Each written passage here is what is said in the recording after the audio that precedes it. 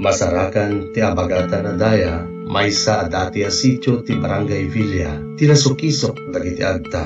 Kas panarita dagiti imuna ang nagtalina ed ti lugar, may sa ang nagagat nga manalon, ngagnagan ti dung, tinasaririt nga agbangkag.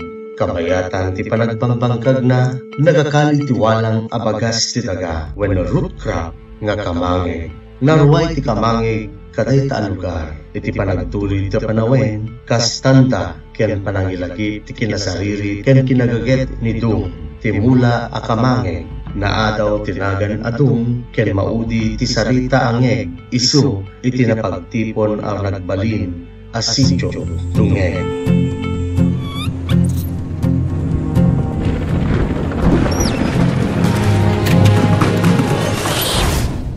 Ita papagayam, kabayatan iti panaglabas ti panawen, manipod ken babaen, ti pinangidaulo, dagiti nagkauna, aging gana iti agdama, a leader, inkay imutektekan ita, dagiti nagbaliwan, iti barangay dungay, iti beteng ti edukasyon, infrastructures, agrikultura, turismo, ken da dumapay a sektor, iti panagduras ti maysa a barangay.